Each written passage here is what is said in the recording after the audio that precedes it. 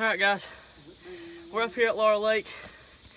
I don't know if it's going to get uploaded to YouTube or not, but if, it, if you guys are seeing this, caught my new PB up here throwing the topwater frog while we was up here catfishing. Look at that baby. Come over here, and we'll get the release on.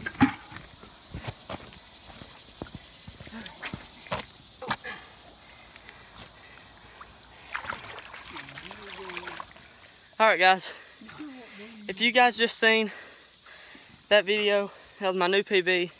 I'll show y'all and give y'all a little recap on what I caught that on.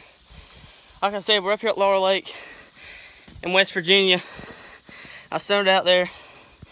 I got me a Shimano Caenan set up here with 45 pound braid and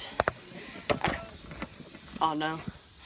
Alright guys, but I caught this on the it's a Strike King frog, walking frog. I can't remember the exact name of it. I trimmed him up a little bit, done some modifications with the tips I got from the YouTuber, as you guys may know, as Tactical Bassin. But yeah, guys, I'm so excited that I caught that fish. That was first cast on that frog. Anyways, if we catch any more, I'll get back with you, and hopefully you guys will be seeing this video soon. Peace.